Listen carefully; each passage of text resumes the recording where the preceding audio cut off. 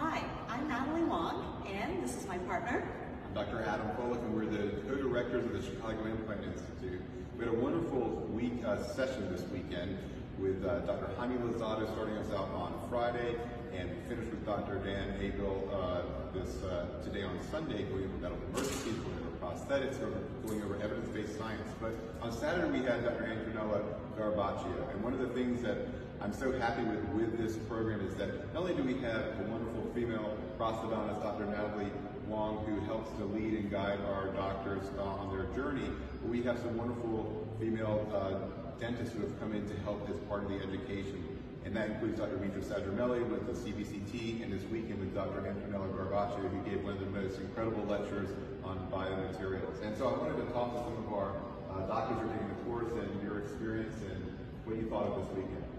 Sure, I'll start. Um, I'm Carrie Humphrey, and um, it was a wonderful session, like Adam said, and we learned a lot, and it's especially uh, nice to see a female dentist present and be a mentor in my dentistry, and Natalie has been so welcoming and encouraging, and so um, I'm looking forward to coming back next session, and uh, hopefully there'll be continue to be more women involved. It's inspiring to see such talented ladies do what they're doing in the office and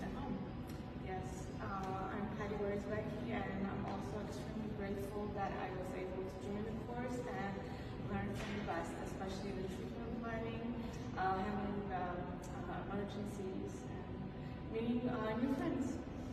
Very good. It's been wonderful for us, and again, we're, we're so excited just that we're seeing more and more women in dentistry getting involved in implantology, and I think it's just been such an inspiration having Dr. Wong there for all the sessions, and some of the uh, doctors we've had to come in as part of our education, and will continue to be part of that process coming in our next session starting in October.